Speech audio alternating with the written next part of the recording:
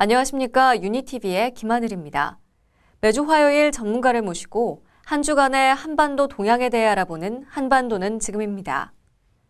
9월 9일은 북한의 정권 수립일로 한 주간 북한은 65주년 기념 행사 준비에 집중했습니다. 9월 2일에는 남북이 제1차 개성공단 남북 공동위원회를 개최했고 분과위원회가 4일과 5일 이틀에 걸쳐 열렸습니다. 또 북한의 대외 활동은 중국 중심의 외교 활동이 지속적으로 전개되는 가운데 미국의 전 NBA 농구 선수 데니스 로드먼이 방북해 김정은과 면담을 가진 것에 이목이 집중됐습니다. 한편 9월 6일에는 통합진보당 의원의 내란 음모 혐의와 관련해 북한이 조평통 서기국 보도를 통해 입장을 표명하기도 했는데요. 이한 주간 한반도 동향, 오늘은 이매지 사무관과 함께 자세히 알아보겠습니다. 사무관님 안녕하세요. 안녕하세요. 네, 이 지난 한 주간 북한은 구구절 행사 준비로 분주했는데요. 이 구구절 어떤 날인가요? 네, 구구절은 1948년 9월 9일 북한 정권이 수립된 것을 기념하는 날입니다. 정확한 명칭은 조선민주주의 인민공화국 창건일로 북한의 주요한 국가적 명절 중 하나입니다. 올해로 65주년을 맞이했는데요. 북한은 정권 수립일 전후로 중앙보고대회, 금수산 태양궁전 참배 등 각종 행사를 진행해 왔습니다. 이번 9월 9일 정권 수립일에는 건설 기술이나 생활용품과 관련한 전시회, 또 생산량을 늘린 기업소의 성과를 소개하면서 인민생활과 관련한 성과를 과시하고 있습니다. 네, 이 말씀하신 대로요. 이 정권 수립일 하루 전날인 9월 8일 음. 중앙보고대회가 열렸습니다. 이 중앙보고대회 어떤 행사인가요? 네. 북한은 정권 수립일 하루 전날인 9월 8일 정권 수립 65주년 경축 중앙 보고 대회를 평양 사이오 문화회관에서 개최하였습니다. 김영남, 박봉주, 최룡해, 김기남, 박도춘 등이 참가하였고 김정은, 장성택, 김경희는 참석하지 않았습니다. 특히 김정은은 작년에 이어 올해도 중앙보고대회에 참석하지 않았고요. 과거 김정일도 정권 수립일 중앙보고대회에는 참석하지 않았습니다. 박도춘 노동당 군수 담당 비서가 4개월 만에 주석단에 등장한 점이 눈에 띕니다. 이번 대회에서 김영남 최고인민회의 상임위원장이 연설을 하였는데요. 연설을 통해 김정일 애국주의를 강조하면서 김정은 동지주의에 굳게 뭉치자고 강조하였습니다. 네, 또 그 밖에도요, 이 한 주간 축제 분위기였던 것으로 알려졌는데요. 이 내부 경축 분위기 어땠는지 전해주시지요. 네. 북한 내부에서는 조선민주여성동맹 예술소조원이나 학생 소년 예술 소조원 등 각계각층이 축하 공연을 진행하였습니다. 그 밖에 전람회나 여성 축구 등 기념 체육 행사도 개최되었습니다. 친선 국가 대표단과 재외동포 대표단도 이번 행사를 위해 초청이 되었고요.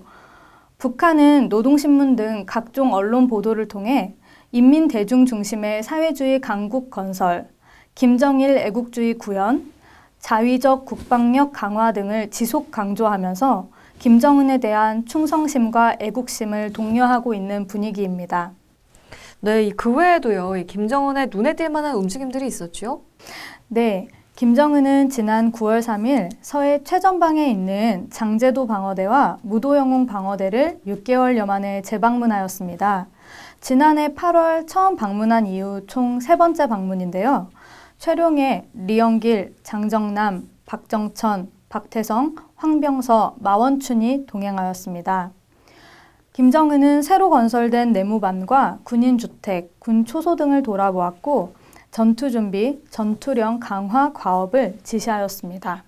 네, 이 남북 관계에 있어서는 이 개성공단 정상화를 위한 대화를 진행하고 또 이산 가족 상봉 행사를 준비하는 등 또 양측 모두 굉장히 분주한 움직임을 보이고 있어요.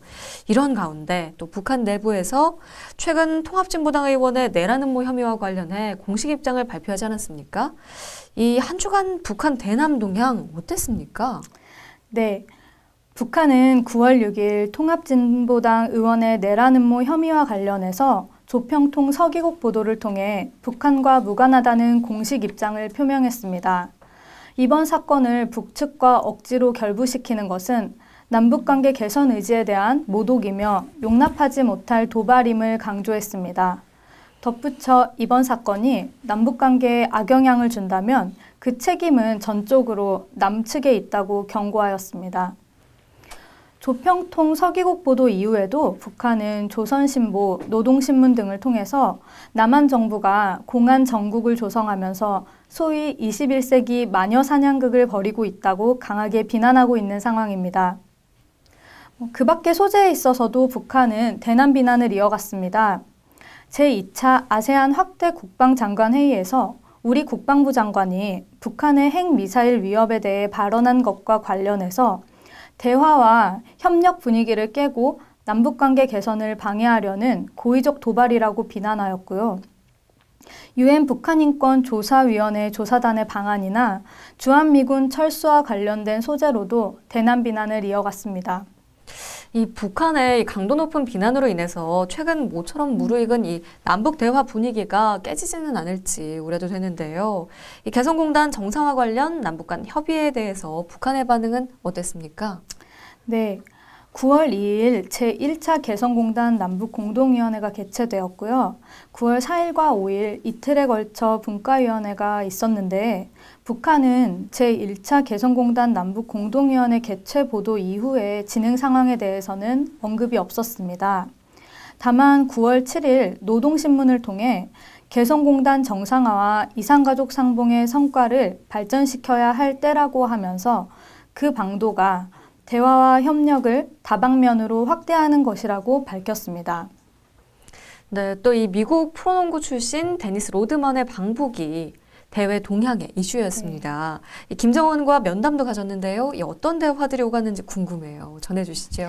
네. 데니스 로드먼은 9월 3일부터 7일까지 방북해서 김정은을 만났습니다. 조선중앙통신의 9월 7일 보도 내용에 따르면 김정은은 로드먼 일행을 면담하였고 로드먼과 농구 경기 관람과 이후 만찬까지 함께 하였는데요. 면담에서 김정은은 로드먼에게 좋은 계절에 벗으로 방문한 것을 환영한다고 하면서 아무 때든 찾아와 휴식도 취하고 즐거운 나날을 보내라고 말했다고 합니다. 김정은의 더 이상의 발언 내용은 공개되지 않았고요. 특히 북한의 억류 중인 케네스베의 석방과 관련한 언급이 둘 사이에 있을지 여부가 관심을 모았는데요. 관련한 언급은 보도되지 않았습니다. 네, 그 외 대외 동향은 어땠습니까? 네, 북한은 지난주 중국을 중심으로 한 외교 활동을 지속적으로 전개하였습니다. 9월 4일 구본태 무역성 부상을 단장으로 하는 북한 정부 무역 대표단이 중국 장춘에서 열리는 제9회 중국 동북아시아 박람회에 참석하기 위해서 평양을 출발하였고요. 9월 5일 주중 북한 대사관은 북한 정권 수립일 65주년을 경축하는 연회를 마련하였습니다. 선외외 중국 전인대 상무위 부위원장과 류전민 외교부 부부장 등이 연회에 참석하였습니다.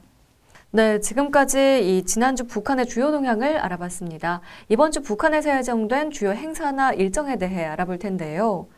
이 특히 남북 간에 예정된 행사들이 있지요. 네, 이번 주에 북한 내부적으로는 구구절 북한 정권 수립 65주년 기념일이 예정되어 있고요. 남북 관계에 있어서는 9월 10일 개성공단 남북 공동위원회 2차 회의가 개최됩니다.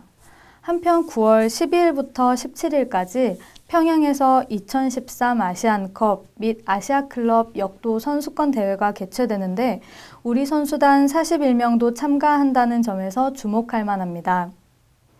우리 선수가 북한에서 열리는 대회에 참가하는 것은 지난 2008년 10월 유소년 친선 경기 이후 5년 만인데요.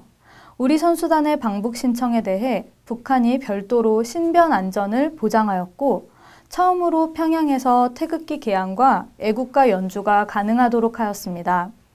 지난 2008년 3월 당초 평양에서 열릴 예정이었던 한국과 북한의 남아공 월드컵 예선 경기가 북한의 태극기 개항과 애국가 연주 거부로 결국 장소가 중국으로 변경되었던 때와 비교하면 상당히 달라진 태도라 할 수 있겠습니다. 정말 이 북한의 태극기 개양과 애국가 연주 허용이 굉장히 이례적입니다. 이 북한을 중심으로 한 전망이 궁금해지는데요. 이 대내적인 북한의 태도 어떻게 전망하고 계신지요? 네. 북한은 대내적으로는 구구절 정권 수립일 행사 이후 각계 각층의 행사 반향을 대대적으로 보도할 것으로 보입니다. 고치된 행사 분위기를 김정은 우상화와 체제 결속의 기회로 활용할 것으로 전망됩니다. 동시에 가시적인 경제 성과를 도출하려는 노력을 계속할 것으로 보입니다. 네, 그렇다면 이 대남 측면은 어떻게 보고 계시는지요? 네, 대남 측면에서는 일단 개성공단과 관련한 대화를 이어가면서 남북 간 협의를 지속하기 위해 유화적인 자세를 지속할 것으로 보입니다. 우리 민족끼리나 6.15 정신에 입각한 남북관계 개선을 계속 주장할 것으로 보입니다. 이 북한이 지속적으로 적극적인 외교 활동을 펼쳐왔는데요. 이번 한 주간의 대회 동향은 어떻게 펼쳐질까요? 네. 북한은 당분간 적극적인 외교 활동을 지속해 갈 것으로 보입니다. 특히 지난주와 마찬가지로 중국과의 외교에 주력하면서 국제적 고립에서 탈피하기 위한 노력을 계속할 것으로 전망이 됩니다. 네, 지금까지 이매지 사무관께서 함께 해 주셨습니다. 오늘 말씀 잘 들었습니다. 고맙습니다. 감사합니다.